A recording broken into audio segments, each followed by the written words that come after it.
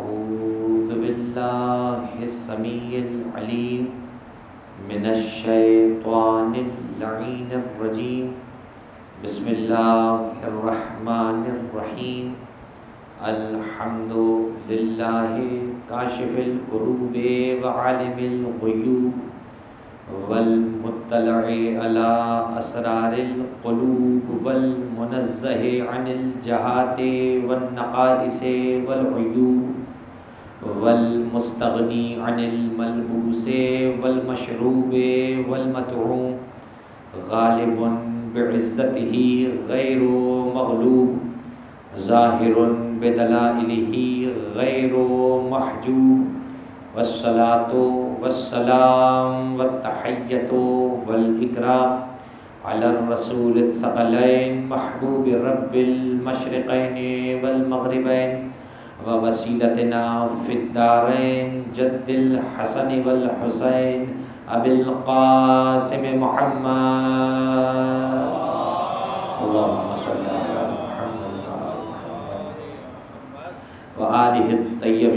ताहरीन मासूमीन मजलूमीन मुंतजबीन मुंतबीन अम्मा बाद फ़कत कल्ला सुबहान वताली फ़ी वहकम किताब मजीद व फ़ुरक़ान हमीद व कौलहक़ बसमीम वमा खलतुलजन्ना वलसा इलाबून सलवा पढ़े मोहम्मद वाले मोहम्मद।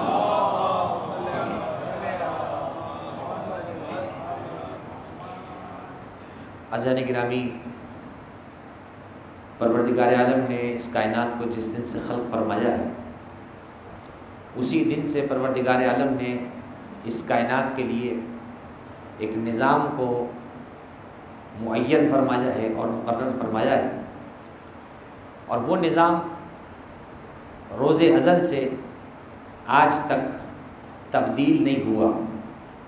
इसलिए कि परवरदिगार के निज़ाम में और उसके कवानीन में और उसकी रविश में और उसके तरीक़ों के अंदर कभी भी तब्दीली वाक़ नहीं होती है। चूँकि परवरदिगार का इल्म ख़ता पर मबनी नहीं होता, परवरदिगार का इल्म निसियान पर मबनी नहीं होता, लिहाजा उसका जो फ़ैसला होता है, वो अटल होता है और हतमी होता है। फ़ैसलों में तगैर और तबदुल वहाँ पर होता है कि जहाँ इंसान कभी ख़ता का शिकार हो और कभी इंसान तजद का मरहला गुजारे। यानी एक सबका रविश को छोड़कर जब किसी जदीद रविश की तरफ़ इंसान आता है तो फिर उसके फ़ैसलों में भी तगैर और तबदुल नज़र आता है। इंसान के बनाए हुए कवानीन के अंदर तरमीम इसीलिए होती है क्योंकि इंसान बाज़ात किसी शिक को जहालत की बिना पर छोड़ देता है और किसी शिक को बाज़ात किसी दूसरी हैसियत से दाखिल कर लेता है। लेकिन 1443 साल के बाद भी कुरान मजीद के किसी कानून का न बदलना इस बात की दलील है कि दुनिया के कानून कुरान के ताबे हैं, कुरान का कानून किसी के ताबे नहीं हो सकता। इसलिए आप देखेंगे कि बरए नाम ही सही, इस्लामी ममालिक के कवानीन कुतुब के अंदर सुपीरियर लॉ और जो सुपीरियर अथॉरिटी हासिल है, वो कुरान मजीद को ही हासिल है। बरए नाम ही सही, लेकिन कुरान मजीद को एक सुपीरियर अथॉरिटी हासिल है कि जो हाकिमियत आला है किसी भी इस्लामी ममलिकत में, वो कुरान मजीद की है। कुरान सुन्नत कुरान सुन्नत जो आप रट सुनते रहते हैं, वो रट ही है बस। न हकीकत में कुरान का नफाज है, ना हकीकत में कहीं सुन्नत रसूल का नफाज है। लेकिन कुरान मजीद का कोई कायदा, कोई कानून और कोई फ़ैसला ऐसा नहीं है कि क़यामत तक का कोई एक आदमी या एक तबका फ़िक्र भी अल्लाह के उस कानून को चैलेंज कर सके। मैं इसकी मिसाल बहुत तेज़ी के साथ दे के आगे बढ़ जाऊँ कि कुरान मजीद ने किसास का मरहला और किसास का मसला बड़ी वजाहत के साथ ख़ुद अल्लाह ने कुरान मजीद में बयान किया है। और जिस अहतमाम के साथ बयान किया है, वो अहतमाम काबिल गौर है। किसास के लिए जो कुरान मजीद में आयत है, उसमें अल्लाह इरशाद फरमाता है, वलकुम फ़िल किसास हयातुन फ़तदक करूँ या उलिल अलबाब। तुम्हारे लिए बदला लेने में ही ज़िंदगी है बस ए अक्लमंदों और ए अक्ल वालों अगर गौर करो तो तुम्हारे लिए एक बड़ी निशानी है। किसास की आयत कुरान मजीद में सरी तौर पर मौजूद है वाज है। वलकुम फ़िल किसास हयातुन, तुम्हारी ज़िंदगी का दारो मदार यानी अगर तुम अपने यहाँ की ज़िंदगी को बाकी रखना चाहते हो तो जब तक तुम किसी जुर्म करने वाले मुजरिम को उस जुर्म की पादाश में किसास के तौर पर उसको कत्ल नहीं करोगे तो उसी वक्त तक तुम्हारा मुआशरा जो है कुर्बानियों की भेंट चढ़ाता रहेगा।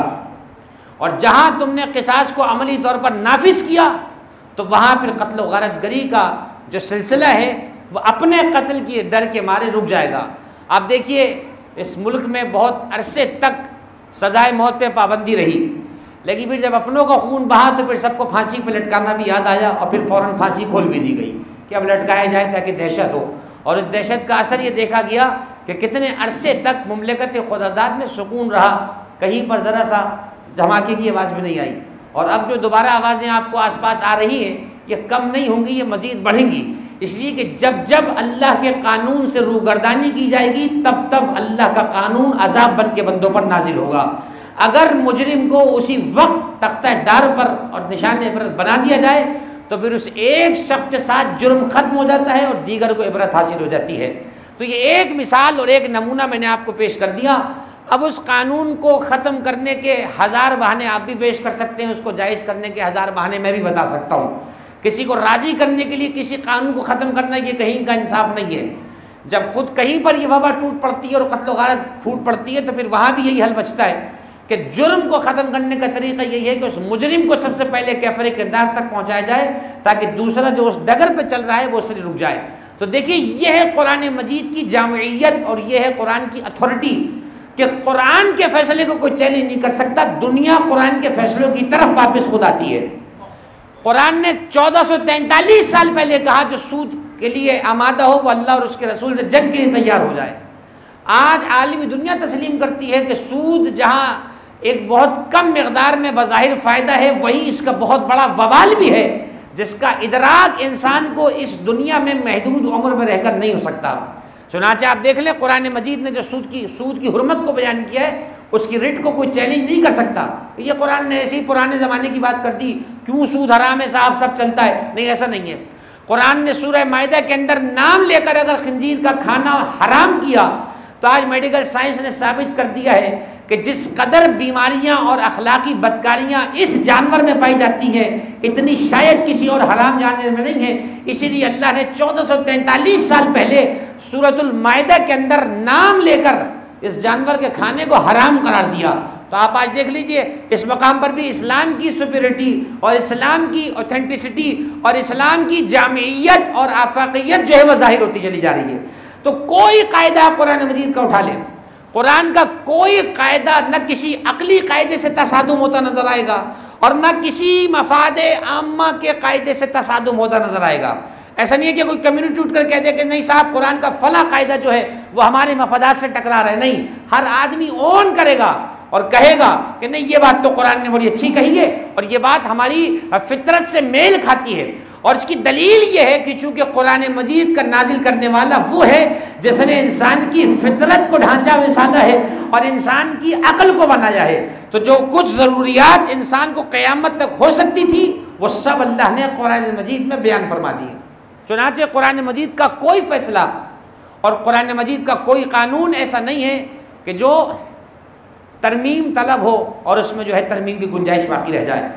इसी तरीके से कुरान मजीद के दीगर कवानीन पर और दीगर मजामी पर गौर करते चले हैं जो आपको कुरान की हक्कानियत वाज होती नज़र आए। सूर्य मुबारक ज़ारियात की एक आयत का टुकड़ा है, बिल्कुल आखिरी का रुकू है सूर्य मुबारक ज़ारियात का। और आयत का निशान छप्पन है। और बड़ी मुख्तसर सी आयत है, लेकिन इस मुख्तर आयत की जामियत इतनी है कि हमारे पास इस गुफ्तु के लिए ये आयत काफ़ी है। आयत का जो अंदाज तखातुब है, जो आयत का लहजा है, जो आयत का मिजाज है, वो काबिल गौर है। इसलिए कि कलाम मुतकलम के मिजाज से पहचाना जाता है। कुरान मजीद अल्लाह का कलाम है। फरमाता है, वमा खलकतुल जिन्ना वल इंसा इल्ला लियाबुदून।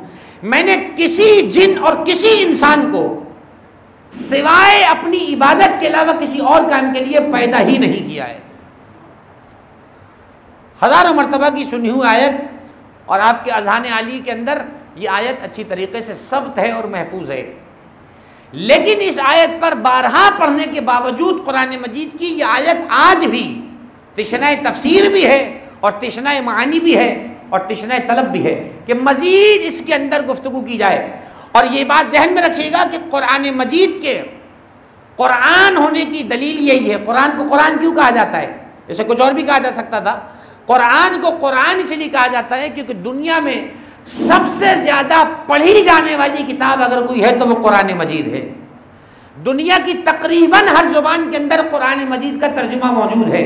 और कुरान मजीद का हर ज़ुबान में तर्जुमा होना ये बता रहा है कि हर जबान का इंसान कुरान मजीद को समझना चाहता है। वरना उसका अपनी ज़बान में तर्जुमा करने का मकसद क्या है? तो कुरान मजीद की जामियत को ज़रा मुलाहजा फरमाए। अल्लाह कहता है, मैंने किसी जिन और किसी इंसान को अपनी इबादत से हटकर पैदा नहीं किया। इंसान का लहजा लहजा इबादत परवरदिगार में गुजरना चाहिए। अभी आके एक, एक मुबारक महीने से रुख्सत हुआ और एक मुबारक महीने से हम लोग अभी निकले इसका नाम माह रमज़ान है। और इस मुबारक महीने की कैफियत ये थी कि इस मुबारक महीने के अंदर आप सो भी रहे हो तब भी तस्वीर करने वाले। आप अगर कामकाज करके थक कर सो जाएँ तब भी आप इबादत गुजार। इस महीने के रातों में इबादत का सवाब उतना जितना दिन में। इस महीने में क़याम, इस महीने के अंदर तिलावत, यानी ये वो महीना था जिसका लहजा लहजा रूहानियत और नूरानियत से मामूर और भरपूर था। और उस महीने से हम लोग गुजर आए।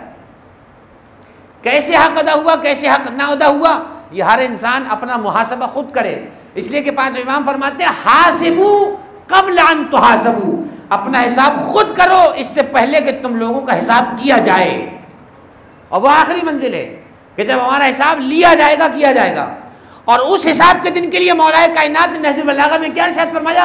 आप फरमाते अलयौम अमल वला हिसाबा गदन यौम हिसाबिन वला अमला। अली फरमाते, तुम्हारी ज़िंदगी के दो दिन हैं। आज का दिन अमल का दिन है, तुमसे कुछ हिसाब नहीं होगा। लेकिन कल का दिन सिर्फ़ हिसाब किताब का दिन है। कल के दिन तुम्हें कुछ करने की इजाज़त नहीं दी जाएगी। कब्र में जाने के बाद जब तुम पर मामला मुनकशिफ हो जाएँगे तो कुरान मजीद ने कब्र वालों के जुमले को कोट किया है कुरान के अंदर कि ये कब्र में पहुँचाने वाले अफराद अपनी बारगाह रब की बारगाह में जब पहुँचेंगे और जब रब के मामला को देख लेंगे तो आवाज़ देख के कहेंगे, कील रब ए परवरदिगार, एक मरतबा हमें दुनिया में वापस भेज दे। अमलन सालिहा, ताकि हम दुनिया में पलट कर एक मरतबा अमल सालेह कराएँ। आवाज़ आएगी, कल्ला, खामोश हो जाओ। और लफ्ज कल्ला अरबी के अंदर हरूफ रद में से है, जो डराने के माने में, धमकाने के माने में आता है। परवरदिगार की तरफ़ से डराने के लहजे में कहा जाएगा, खबरदार, हमसे अहमकों की सी बातें ना करो। जो दुनिया तुम्हें दी गई थी, वो तुम्हारे अमल की दुनिया थी। अब तो जो कर कर आए हो, उसका हिसाब तुम्हें कब्र के अंदर देना ही पड़ेगा।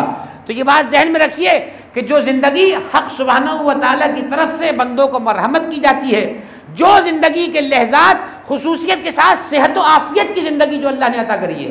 एक ज़िंदगी है कि ज़िंदगी तो है, मगर बीमारी की ज़िंदगी है। अपाहिज है मसन किसी मरज में मुबतला है, किसी नक्श में मुबतला है, उसका कोई उज्व बदन ज़ाया हो गया या उसका कोई उज्व बदन बीमारी का शिकार है। तो जो कैफियत, सेहत व सलामती के अंदर है, वो कैफियत बीमारी में नहीं है। एक मरतबा ज़िंदा होना खुद अल्लाह की बड़ी नेमत है। दूसरी मरतबा सेहत और सलामती के साथ ज़िंदा होना बड़ी नेमत है। आप जाकर पढ़ें, मफाती के अंदर सुबह को उठ के पढ़ने की दुआ क्यों लिखी है? क्या ज़रूरत है एक आदमी सुबह को उठे, दुआ पढ़े, दो रकत फजर पढ़ लेता है? काफ़ी नहीं है। नहीं, सुबह को उठ के दो रकत अलग से, नमाज़ तो तुझ पर वाजिब है, पढ़नी ही पढ़नी है। चाहे दुआ पढ़ या ना पढ़ लेकिन ये दो सुबह की जो दुआ तू पढ़ता है, फजर के बाद नमाज़, नींद के बाद, उठने की जो दुआ तू पढ़ता है जाकर ये इसलिए है ताकि तू उस ज़िंदगी का शुक्र अदा करे जो अल्लाह ने तुझे एक मौत के बाद दोबारा सुबह की सूरत में अदा कर दी है। ये जो कहावत है ना कि सोता और मरा बराबर है, ये वाक़ दुरुस्त है। इसलिए दुरुस्त है कि कुरान मजीद में आयत मौजूद है, अल्लाह ये तवफ़लनफ़ुसहीना मौतहा। रवायत में आयत का जुमला ये है कि अल्लाह हर इंसान की जान निकाल लेता है जब वो बिस्तर पर जाके सोता है। जब हम बिस्तर पर जाकर सोते हैं, हर इंसान की रूह को मुना वक्त के लिए निकाल लिया जाता है। फिर आयत के अंदर जुमला ये है कि परवरदिगार जिसकी ज़िंदगी बाकी रखना चाहता है, उसकी रूह को सुबह से पहले वापस लौटा देता है। और जिसकी मौत आ चुकी हो, फिर उसकी रूह को जिसम में वापस नहीं लौटाया जाता, उसकी रूह वापस ले जाती है। और इंसान सोते का सोता रह जाता है। ऐसा कितनी बार आपने सुना, कितने मुशाहिदात ऐसे हैं। अल्लाह हम सबको नागहानी अमवाज से महफूज फरमाए, ताकि हमारी ज़ुबान पर जाते जाते कलम तोहद, कलम शहादत और कलम विलायत मौजूद रहे। लेकिन नागहानी मौत अगर किसी को आ जाए तो क्या कोई कह सकता है अपने हवाले से कन्फर्म कि नहीं साहब, मुझे तो फरिश्ता आकर बताकर ही लेकर जाएगा? नहीं। ये कैफियत एक अचानक किसी कैफियत है। सुनाते जो चीज़ अचानक होने वाली हो, उसके लिए तो आदमी को जहनी तौर पर वैसे ही आमादा रहना चाहिए। सुबह उठ के पढ़ने की दुआ के अंदर शुक्र है परवरदिगार का कि जिसने मरने के बाद दोबारा ज़िंदगी अता करी है। अगर तू चाहता तो रात ही में रूह कब्ज कर लेता, लेकिन है परवरदिगार, तूने मुझे दोबारा ज़िंदगी अता करी है, ये तेरा शुक्र है। क्या मालूम ये ज़िंदगी आज ना होती तो मैं आज का सूरज ना देख पाता। चुनाचे अल्लाह ने जो मौत का निज़ाम रखा है, वो इसीलिए रखा है ताकि इंसान सुबह शाम एक अलार्मिंग सिचुएशन के अंदर रहे और एक ऐसी इंतबा की कैफियत में रहे कि वो हर जनाजे को देखकर मुतनबे होता रहे और उस तनबे के ज़रिए, उस इंतबा के ज़रिए उसे अपनी मौत याद आती रहे। आपको शायद सुनकर ताज्जुब हो कि मासूमीन के रवायात में सबसे ज़्यादा जिस चीज़ को याद करने पर ज़ोर दिया गया है, उसका नाम मौत है। हत्या के रवायात के अंदर है कुलूबकुम। मासूम फरमाते कसरत से मौत को याद किया करो क्योंकि मौत को याद करना तुम्हारे दिलों को ज़िंदा कर देता है। और मौत से गाफिल हो जाना तुम्हारे दिलों को मुर्दा कर देता है। तुम्हारे दिल पे गफलत का गिलाफ चढ़ जाता है। तुम ये समझते हो कि हमेशा यहीं पर रह जाना है, जबकि हम देख रहे होते हैं कि कोई खुशी की कैफियत में जा रहा है, कोई खुशी के दिनों में चला जा रहा है, कोई ईद के दिनों में रुख्सत हो रहा है, कोई ईद के महीनों में रुख्सत हो रहा है। किसी के घर में खुशी है और उसके घर में अचानक मौत हो जाती है। इसका मतलब ये हुआ कि मौत का ताल्लुक किसी मौसम से या गम की फिजा से नहीं है। मौत का ताल्लुक अम्र इलाही से है। जब अल्लाह का अम्र आ जाए, परवरदिगार की आवाज़ से बंदे को लब्बैक कहना पड़ता है। तो अल्लाह ने हमें एक निशानी के तौर पर और एक इशारे के तौर पर बड़ी वजाहत के साथ फरमा दिया कि अगर तुम ये चाहते हो कि अपनी ज़िंदगी कामयाब गुजारो तो हम तुम्हें पैमाना दिए देते हैं कि जाओ, हमने तुम्हारी ज़िंदगी इसलिए खलक की है ताकि तुम्हारा लम्हा लम्हा इबादत में गुजरता चला जाए।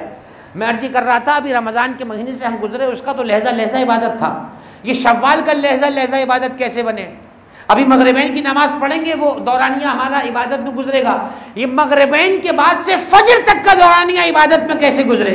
अल्लाह तो कुरान में ये कह रहा है, हमने तुम्हें खल ही से ये किया है, ताकि तेरा लहजा लहजा इबादतें परवरदिगार में गुजरता चला जाए। और हम ये देख रहे हैं कि इबादत की मखसूस शक्लें हैं, मखसूस सूरतें हैं और मखसूस अवकात और जमानो मकान है। फिर ये कौन सी इबादत है जिसका मुतालबा हमसे सुबह शाम किया जा रहा है कि तेरा लहजा लहजा इबादत परवरदिगार में गुजरना चाहिए। मेरे अजीज़ों, इबादत के मफहूम को ज़रा समझने की ज़रूरत है। बारह या तेरह जिल्दों पर पूरा इंसाइक्लोपीडिया मीज़ानमा के नाम से आयतुल्ला मोहम्मद रशैनी रहमत जिनका भी कुछ माह पहले कौम मुक़दस में इंतकाल हुआ।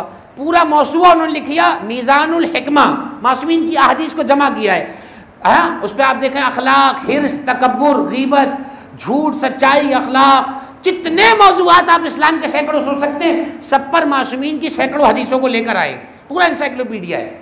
हर घर में होना चाहिए, ताकि मासूमिन की रवायत को पढ़ें। क्योंकि रवायत में है, जैसे हर शय जवाल की तरफ़ जाती है, जैसे लोहे को जंग लग जाता है, फरमाया तुम्हारा दिल भी जंग आलूद हो जाता है। फरमाया हमारी हदीसों का तस्करा करना तुम्हारे दिलों को जंग से महफूज रखता है, तुम्हारे दिलों को पुराना होने से बचाता है। बस जब तुम्हारे दिलों पर जंग चल जाए और तुम्हारे दिलों पर दुनिया चल जाए तो हमारी हदीसों का तस्करा करो ताकि तुम्हारा दिल शफाफ हो जाए। एक सलवात पढ़ दे मोहम्मद वाले मोहम्मद के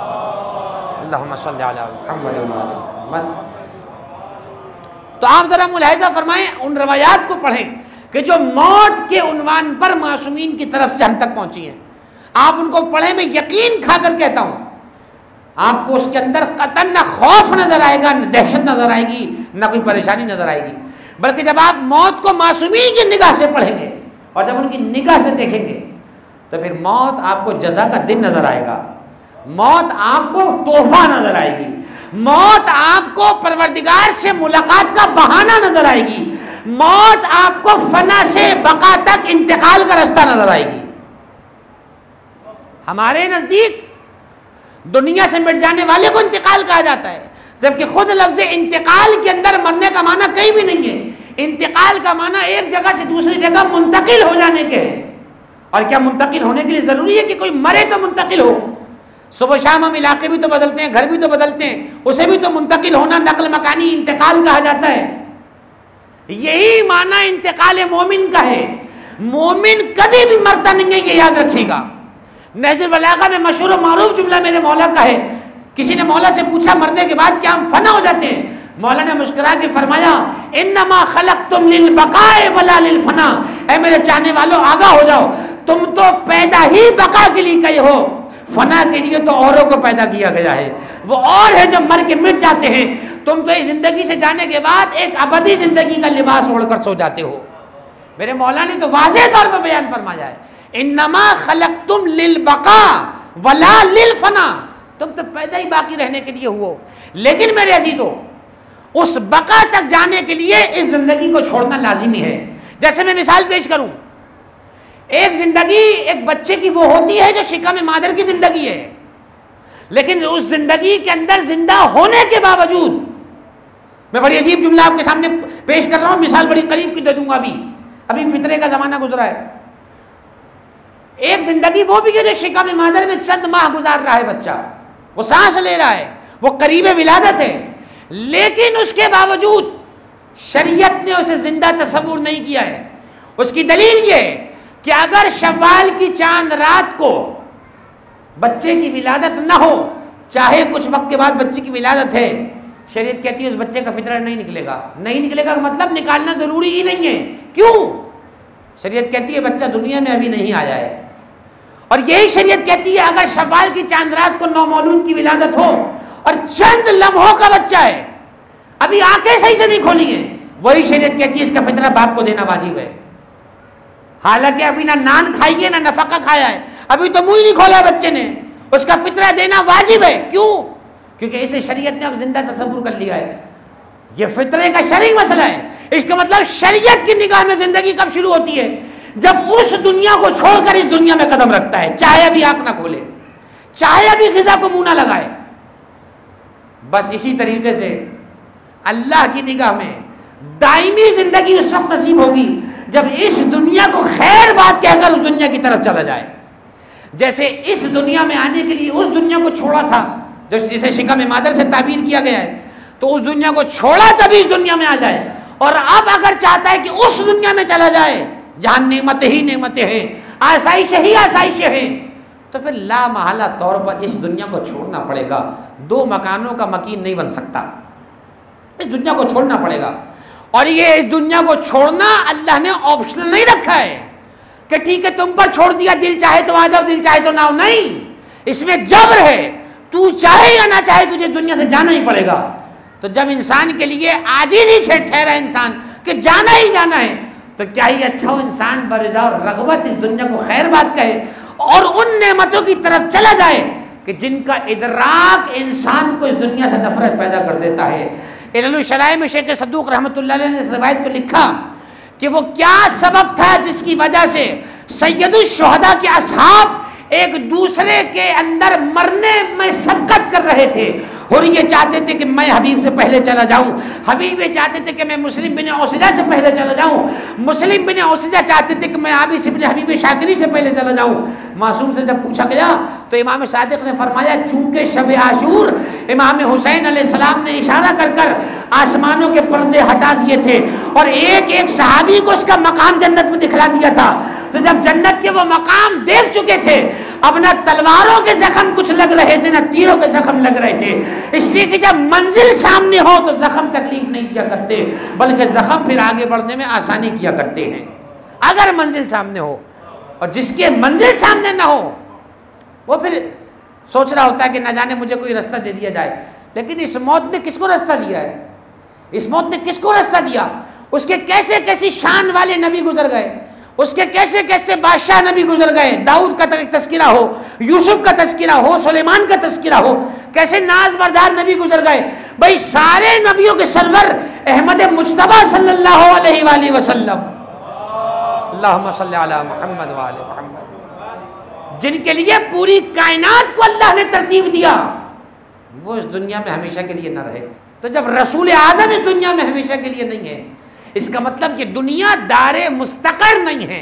ये मुस्तकिल मकान नहीं है, ये आरजी मकान है। और आरजी मकान वही होता है जहाँ कुछ वक्त के लिए इंसान रहता है। मेरे अजीजों, अगर इंसान मौत से मोहब्बत पैदा कर ले, हम समझते हैं ज़िंदगी आजीज हो जाएगी, उसकी ज़िंदगी खुशहाल हो जाएगी, उसके कितने मामला सुधर जाएँगे, उसके कितनी इंतकामी जज्बे खुद ब खुद ख़त्म हो जाएँगे अगर इंसान के पेश निगाह उसकी मौत हो। इसीलिए तो फरमाया अक्सरुल मौता अक्सरु कसरत से निकला है। कसरत से मौत को याद करो। मासूम फरमाते कसरत से याद करो। अगर मौत को याद करना मकरू होता या बुरी चीज़ होती तो कभी मासूम हुक्म का जुमला ना कहते कहते, अक्सरुल मौता मौत को याद करो। कभी ना कहा जाता। बहलोले दाना कि जिसे जमाने ने समझा ही नहीं है, जिसने शहर को तर्क कर दिया, कब्रिस्तान को आबाद किया। कब्रिस्तान में बैठे हुए। एक मैयत के साथ कुछ लोग आए और देखा और आवाज़ देकर कहा, तू यहाँ बैठा हुआ क्या कर रहा है? तो बहलोल ने ऐसा जवाब दिया कि बड़े बड़े अक्लमंद दंग रह जाएँ। बहलोल फरमाते हैं कि मैं शहर में जाकर क्या करूँ? सारे का सारा शहर तो सुबह शाम इसी जगह पर वापस चला रहा है। कौन ऐसा है जो हमेशा शहरों में रहा? कोई आदमी ढूंढ के बताया जाए जो हमेशा शहरों में रहा। हमें आखिरकार उसी शहर को जाकर आबाद करना है, जिसका नाम शहर खामोशा है। जिसकी खामोशी में बड़ा अमन अमान है, जिसकी खामोशी में खुशहाली है, जिसकी खामोशी के अंदर निफाक नहीं है, जो है वो सामने। बहलोन ने कहा, तुम्हारे शहर से अच्छा तो यह कब्रिस्तान है, जहाँ ना किसी को लुटने का खौफ है, ना किसी को बदहाली का डर है, ना कोई किसी की कीमत से डर रहा है, ना किसी को किसी की तोहमत का डर है। हर आदमी को अपनी परवाह है, काश मेरा बेड़ा पार हो जाए। हर आदमी को अपनी परवाह है। तो अजीज़ान गिरामी, इसलिए रवायात के अंदर है कि हर शब जुमा और रोज़ जुमा कब्रिस्तान की ज्यारत को जाओ और ममनिन जाते हैं। इसकी पाबंदी करें, इसका मज़ा आएगा, इसका लुत्फ आएगा। जब कब्र की ज्यारत करेंगे, अपने अजीज़ों की कब्र पर जाएँगे तो दिल नरम हो जाता है, फिर यादें परवरदिगार आती है। और जब दिल नरम हो जाए तो गुनाहों से नफरत हो जाती है। और जब गुनाहों से नफरत हो तो सिवाय नेकी के इंसान के पास कुछ नहीं रहता। और जिसके पास नेकिया ही नेकी हो फिर वो डरता नहीं है कि उसकी मौत कल आए, आ जाए या भी आ जाए। इसलिए कि उसका नाम अमाल बिल्कुल साफ़ होता है। आज इस मरहूम की मजलिस ऐसा है। मैंने इस खानवादे की ज़ाती तौर पर कई मजालिस में मरहूम को मुशाहिदा किया। इसलिए कि अगर ये चीज़ मुशाहे में ना होती तो शायद मेंबर से बयान ना करता। ज़ाती मुशाहिदा, उनके अज्जाकारी तशरीफ़ पर मैं कितने चेहरे में देख रहा हूँ। ज़ाती मुशाहिदा मैंने ये देखा, कम से कम इस खानवादे की कोई मजलिस मुझे नहीं याद पड़ता। कि उनकी गैर हाजिरी रही हो। और ये तबादुर ये बता रहा है कि सिर्फ़ इस खानवादे की मजलिस नहीं, बल्कि हर मजलिस में हाजिर होना उनकी इबादत थी। हर मजलिस में हाजिर होना उनकी इबादत थी। क्यों? आयत से रिलेट कर रहा हूँ गुफ्तु वक्त के अंदर बात तमाम हो। आयत ने क्या कहा? हमने इंसान को पैदा ही इसलिए किया है, ताकि वो इबादत करे। उसका लहजा लहजा इबादत में गुजरे। और एक मजलिस को छोड़कर दूसरी मजलिस में बिला फासला पहुँचना यह इबादत का इबादत से इतिसाल नहीं है तो और क्या है? एक मजलिस के बाद दूसरी मजलिस, एक इबादत के बाद दूसरी इबादत, एक फर्श के बाद दूसरा फर्श, एक महफिल के बाद दूसरी महफिल, इसी को इबादत का इत्तिसाल कहा जाता है और इसी को मकसद तखलीक का पाना कहा जाता है। मकसद तखलीक किसी मदरसे में जाकर नहीं मिलेगा। मकसद तखलीक किसी मकतब या किसी स्कूल और कॉलेज और यूनिवर्सिटी में नहीं पढ़ाया जाएगा। मकसद तखलीक वही मिलेगा कि जिनकी दुआओं से हमें पैदा किया गया है, और वह सिवाय फर्श अज़ा की कुछ नहीं है। इसी फर्श अज़ा पर मकसद इंसान की भी बात होती है, इरतका इंसान की भी बात होती है, फलाह इंसान की भी बात होती है, इंसान की भलाई की भी बात होती है। इसी मिंबर से दीन भी बयान होता है, इसी से अकीदे का प्रचार होता है इसी से गमों का मदावा भी होता है, इसी से इंसान की तरबियत की गुफ्तु भी की जाती है। कौन सा दुनिया का उन्वान ऐसा है? कौन सा समाजी उन्मान ऐसा है कि जो मिंबर हुसैन पर जेर बहस नहीं आता? सारी यूनिवर्सिटियाँ तमाम उलूम को पढ़ाने की मजाज नहीं होती हैं। हर कॉलेज यूनिवर्सिटी चंद उलूम की ज़िम्मेदारी लेता है। वो चंद उलूम के अंदर महारत दिलाता है। लेकिन सलाम और सैद शहदा के इस मुबारक मकतब पर, जिसका नाम मजलिस इमाम हुसैन है, इस मकतब में हर सिनो साल और हर पेशे और तालीम से ताल्लुक़ रखने वाला बराबर के साथ एक ही गिलाफ में बैठता है और अपने अपने मतलब और अपने अपने सबक का इल्म हासिल कर कर यहाँ से लेकर जाता है। इसीलिए तो इस मजलिस को वो आफाकियत हासिल है कि पूरी कायनात के अंदर इस मजलिस का निसाब भी एक है, इस मजलिस का ढंग भी एक है। यही तरीका होता है। सब सीखने के लिए बैठ जाते हैं और वहाँ से अहल बैत की तालीमत को नशर किया जाता है। मरहूम की यकीन ज़िंदगी का अख्ताम अच्छे आमाल पर हुआ। और उसकी दलील ये है, उसकी बड़ी वाज दलील हमारे पास है। और ये दलील आप भी महफूज करें और फिर देखें कि किसकी ज़िंदगी कामयाब है, किसकी ज़िंदगी नाकाम। एक रवायत कुतुब हदीस में मौजूद है। मासूम फरमाते हैं, रसूलुल्लाह की हदीस से फरमाते हैं, इनवान सहीफ़तुलमिन हब्ब अली इबन अबी तालिब। इस हदीस को इमाम इबन हजर मक्की ने सवायक महरका में लिखा, अहल सुन्नत के आलिम दीन नौ सौ सत्ताईस हिजरी के। फरमाते हैं कि पैगंबर ने निशात फरमाया, बहुत प्यारी हदीस है, मैंने इस पर जब कुछ लताइफ और नुकात देखे तो बड़ा लुत्फ आया। मासूम फरमाते हैं, मोमिन के सहीफ़ा हयात का मोहब्बत अली है। इनवानो सहीफ़तिल मोमिन हुब्बो अली इब्न अबी तालिब। जिसे हम उर्दू में उनवान कहते हैं, वो असल में अरबी में इनवान है, ऐन की जेर के साथ। उर्दू में उसे उनवान कहा जाता है। पैगंबर फरमाते हैं, इनवान और सहीफत मोमिन। मोमिन के सहीफा ज़िंदगी का उनवान अली की मोहब्बत है। सहीफा किसे कहते हैं? देखिए, अरबी में एक होता है, सहीफा एक होती है किताब। किताब कहा जाता है, जो कई सफ़ों से मिलकर बने सहीफा उसे कहा जाता है जो एक सफ़े पर, एक सफ़े पर हो। पैगंबर फरमाना चाहते हैं, मोमिन के सफ़े ज़िंदगी का उनवान अली की मोहब्बत है। इतना पढ़ा लिखा बंदा बैठा हुआ है, उनवान कभी भी सरे वर्क होता है, कभी भी आखिरी वर्क नहीं होता है। सरे वर्क जो हो उसे उनवान कहा जाता है। पैगंबर कह रहे हैं, मोमिन की ज़िंदगी की इब्तदा भी अली की मोहब्बत है, इंतहा भी अली की मोहब्बत उसकी इब्तदा भी मोहब्बत अली है। उसकी इंतहा भी मोहब्बत अली है। और ये बात जहन में रखिएगा। जैसे हम लेटर हेड कहते हैं, जो आपका सरे वर्क होता है, किसी के पास कुछ लिखवाने के लिए गए तो कहा, मौलाना लेटर हेड पे लिख दीजिए, आपका बड़ा पर्चा चलता है। अब उन्होंने दरमियान में मजमून लिखा तो लेटर हेड पढ़ने वाले भी बड़े होशियार हैं, वो मजमून नहीं पढ़ते, वो ये देखते किसका भेजा हुआ है। जैसे ही सरे वर्क पर नाम पढ़ा, वो समझ गए कि इसका तो मानना ही मानना है, चाहे कुछ भी लिख के भेजा हो। तो ये जो सरे वर्क उन्मान लिखा होता है टॉप ऑफ़ द पेज जो तहरीर लिखी है, उसे उनवान कहा जाता है। रसूल फरमा रहे मोमिन की ज़िंदगी का उनवान अली की मोहब्बत है। यानी कयामत में जब मोमिन जाएगा, उसकी साठ साल की इबादतें देखी नहीं जाएँगी। बस देखा जाएगा, अगर अली की मोहब्बत है तो जो कुछ करके आए हो, उसका अजर दे दिया जाएगा। इसलिए कि अली की मोहब्बत के होते हुए कुछ रायगा नहीं किया जाता है। इनवान। बेशुमार। इनवान सहीफ़तिलमोमिन हब्बू अली अपना भी तालिब। मोमिन की ज़िंदगी का उनवान अली की मोहब्बत है। और यही उनवान होता है अजीज़ों, जो हम बतौर हवाला अपने कफन पे लिखवा के ले जाते हैं। यही उनवान, जो हयात का उनवान था, वही मरने के बाद हमारे कफन का उनवान बन जाता है। और फिर उसी कफन पर नाम अली भी लिख दिया जाता है। उसी कफन पर नाम अली लिखा जाता है।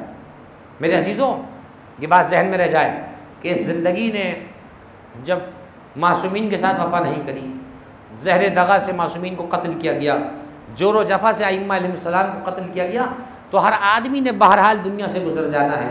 लेकिन कामयाब तो वो है कि जो मोहब्बत अली का सरमाया लेकर दुनिया से गुजर जाए और तवंगरी की कैफियत में गुजर जाए। यकीनन, मरहूम सैद मोहम्मद अर्जुमन जाफरी अल्लाह मकाम की रूह शाद है। इसलिए कि उन्होंने तरबियत औलाद के तौर पर अपनी दुख्तरान को छोड़ा है। और रवायात अहलबैत में जहाँ तरबियत औलाद का वैसे ही बहुत बड़ा अजर सवाब है, वहाँ अगर तरबियत के उनवान से बेटियों की तरबियत हो दुख्तरान की तरबियत हो तो फिर अजर में और ज़्यादा इजाफा हो जाता है। मासूम फरमाते हैं, मन लहू सलास बनात जिसके लिए तीन बेटियाँ हों, वजबत लहुल जन्ना, उसके लिए जन्नत वाजिब हो जाती है। जिसके लिए तीन बेटियाँ हों रिवायत शुरू हुई, फरमाया, जिसके लिए एक बेटी हो, उसके लिए जन्नत वाजिब है। जिसके लिए दो बेटियाँ हो, जन्नत वाजिब है। फरमाया, जिसके लिए तीन बेटियाँ हो, जन्नत वाजिब है। यहाँ तक कि पैगंबर आगे तक जुमले को बढ़ाते रहे। फरमाया, बेटी, चूँकि रहमत है, जितनी बेटियाँ होंगी, उतनी ज़्यादा रहमत अता होती चली जाएगी। और बेटा, चूँकि नेमत है तो रहमत पर अदा किया जाता है, नेमत का सवाल किया जाता है। जितने बेटे अदा किए जाएँगे, उतने बेटों का सवाल होगा। बता, हमने तुझे वलद नरीना अदा किया था, तूने इसकी तरबियत का कैसा हक अदा किया? और अगर जाने वाला अपने नाम आमाल में दुख्तरान की तरबियत लेकर गया है। अगर उनकी तरबियत मनहजे जैनब कुबरा, मनहजे मनहजे उम्म कुलसूम पर, मनहजे फातिमा जहरा पर होती रही है तो इसका मतलब यह है कि जाने वाला कामयाब व कामरान गया है। और उसके लिए बड़ी आसाइशी है। ये बेटियाँ जो कि बाप की ढारस हुआ करती हैं, ये मैशर में अपने बाप के लिए शिफात की सिफर बन जाएँगी। ये मैशर में अपने बाबा के लिए शिफात का उन्वान करार पा जाएँगी। यही बेटियाँ तो हैं, यही बेटियाँ हैं। कि अगर माँ का साया सर से उठ जाए तो सब कहते हैं कि अब तो तुम ही अपने घर की माँ हो, अपने बाबा का ख्याल रखना। क्यों कहा जाता है कि जब माँ उठ जाए तो बेटी माँ का रूप धार के घर में आ जाती है।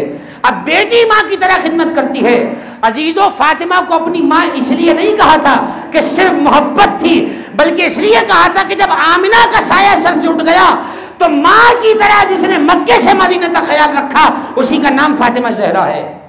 और जब 11 हिजरी के अंदर फातिमा जहरा का साया सर से उठा, अब अली को ज़रूरत थी कि कोई हो जो अली को ढारस दे।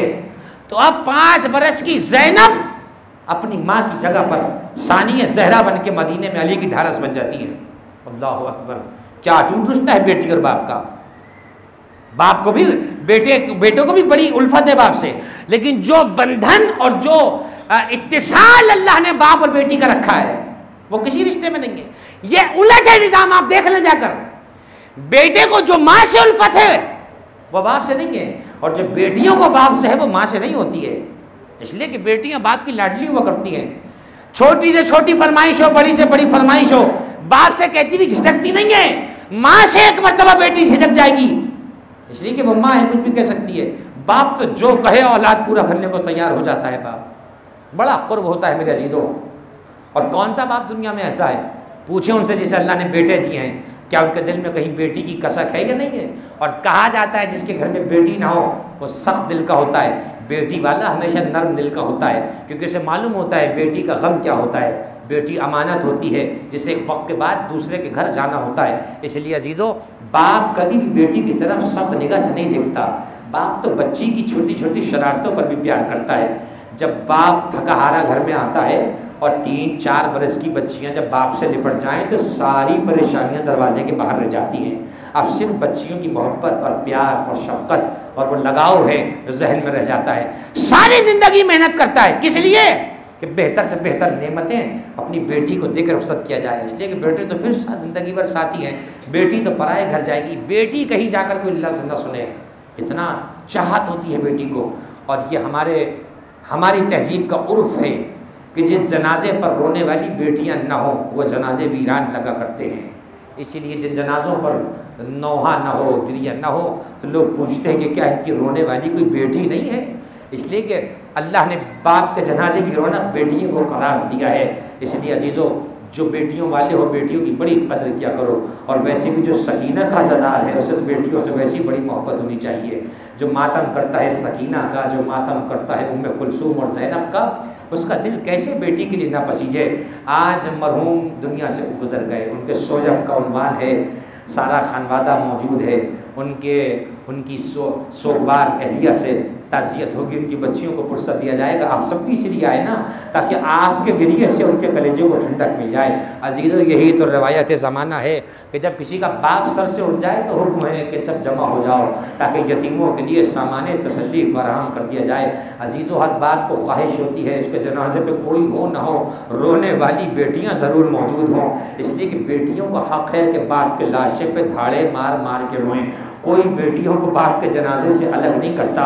जब तक बेटियाँ रोती रहें, बाबा का जनाजा रखा रहता है। यहाँ तक कि बेटियाँ बाप के जनाजे को रुस्सत कर दें, कितना अरमान होगा रसूल अल्लाह को। काश हमारी जहरा भी हमारे जनाजे पे गिरिया करे और बाहर कैफ आस्ता आहिस्ता ही सही, मगर जहरा ने अपने बाबा पर जी खोल के गिरिया तो किया। कोई ये नहीं कह सकता कि जहरा ने गिरिया नहीं किया। जहरा ने गिरिया किया और एक मंजर चालीस हिजरी को कूफे के अंदर है। इक्कीस रमज़ान की रात है। अली की आखिरी हिचकियाँ हैं। ऐसे में अली के कानों में जैनब के रोने रोने की आवाज़ आती है, कोई आवाज़ दे के कहता है, जैनब से कहो, बाबा के असहाब मौजूद हैं, जैनब अपनी आवाज़ को आहिस्ता करे। ये जुमला सुनना था, अली ने आवाज़ दे के कहा, हसन, मेरे असहाब से कहो, हुजरे से बाहर चले जाएँ, मेरी जैनब को कोई रोने से मना न करे। आज कूफा है, जैनब के रोने पे पाबंदी नहीं है। मैं तो वो मंजर देख रहा हूँ कि जब इकसठ हिजरी को इसी कूफे के बाज़ार में जैनब को लाया जाएगा और जब जैनब के रोने पर सज्जाद को ताजियाने लगाए जाएँगे। हाँ हाँ मेरे अज़ीज़ हो हसन की मौजूदगी में जी भर के जैनब ने भी क्रिया कर लिया। लेकिन आओ, एक गरीब बच्ची का तस्करा करते चलो। मरहूम की रूह को खुदा शाद फरमाए, मरहूम की बेटियों को खुदा सब्र जमील करामत करे। आपकी आवाज़ें बुलंद हो जाएँगी। लेकिन आओ, एक चार बरस की बच्ची का हाल देखो, कि जिसे बाप यतीमी की तारीफ़ समझा रहा है और चार बरस की बच्ची को समझाया जा रहा है कि बेटी, जब बाप आप सर से उठ जाए तो कानों में गोशवारे पहनाए जाते हैं, सर पे चादर उड़ाई जाती है, दस्ते शफकत सर पे फिराया जाता है। लेकिन हाय शाम गरीबा, जैसे ही अंधेरे के बादल छाए, एक लम्हे के बाद जब सकीना पे यतीमी के बजरे गिरी, अब सकीना ने देखा यतीमी का माना क्या होता है? बाप तो कहता था, गोशवारे पहनाए जाते हैं। शकीने गोशवारों को पहना, उतारा नहीं है, बल्कि शिद्दत से खींचा है। कि बच्ची शाम के जिंदान तक कानों पे हाथ रखी रही। बाप तो कहता था, सर पे चादर उड़ाई जाती है। इधर सकीना के सर से मकना भी छीना गया। सकीना के दामन में आग लगा दी गई। बाबा कहते थे कि सर पे हाथ फिराया जाता है। इधर सकीना के बाल शिद्दत से पकड़े गए कि बच्ची का छुड़ाना महाल हो गया। हाँ हाँ मेरे अजीजों, यही शाम गरीबा है। एक बेटी ने जब बाबा को पुकारा नजब से एक बाप बेटी से मिलने आया, अब जो बेटी का उजड़ा हुआ घर देखा गले लग के कहा, जैनब, ये क्या हो गया? आवाज़ दी, बाबा, जैनब बुलाती रही। आप जैनब की फरियाद पे ना आए। ए बाबा, वादा कीजिए, अब जिस मंजिल पे जैनब पुकारेगी, आप बेटी की मदद को आएँगे।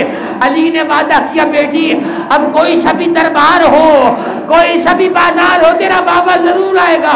रिवायत कहती है, शाम का दरबार वो बाज़ार था, कि जहाँ जैनब के लिए आगे बढ़ना महाल था अब जो बाबू शाह का दरवाज़ा खुला, अली की बेटी घबरा के बैठ गई।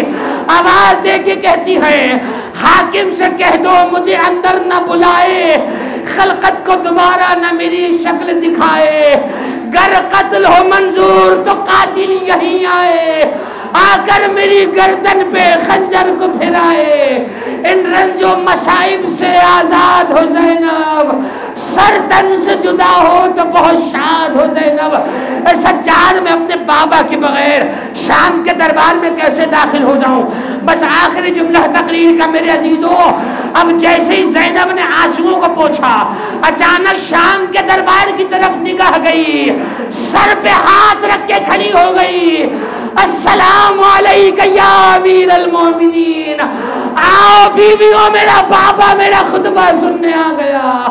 आओ सज्जाद तुम्हारे दादा, हमारा खुतबा सुनने शाम के दरबार में आए। ए सज्जाद, अब शाम के दरबार में भाई की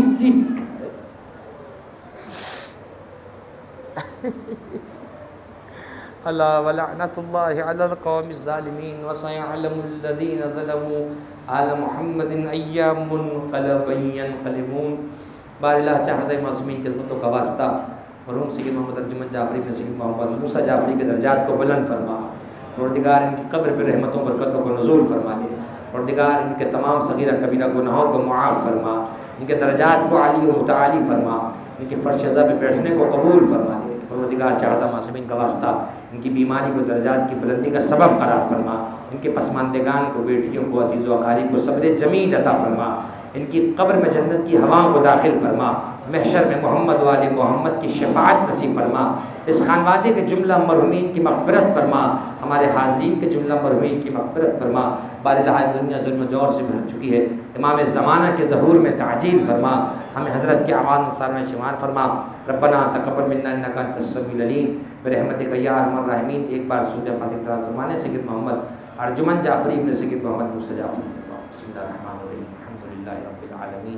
अर्रहमानिर्रहीम मालिक यौमिद्दीन इय्याका नअबुदु व इय्याका नस्तईन इहदिनस सिरातल मुस्तकीम सिरातल लज़ीना अनअमता अलैहिम गैरिल मग़ज़ूबि अलैहिम वलद्दाल्लीन बिस्मिल्लाहिर रहमानिर रहीम कुल हुवल्लाहु अहद अल्लाहुस समद लम यलिद व लम यूलद व लम यकुल लहू कुफुवन अहद अल्लाहुम्मा फ़िर लिल मुमिनीन वल मुमिनात वल मुस्लिमीन वल मुस्लिमात अल अहयाइ मिनहुम वल अमवात ताबि बैनना व बैनहुम बिल खैरात